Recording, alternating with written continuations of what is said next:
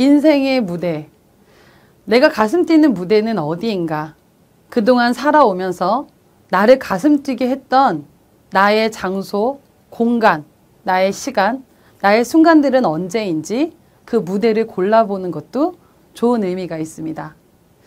그리고 신은 동물들을 다르게 창조했듯이 사람을 왜 모두 다르게 창조했을까요? 그리고 그 다름의 핵심은 무엇일까요?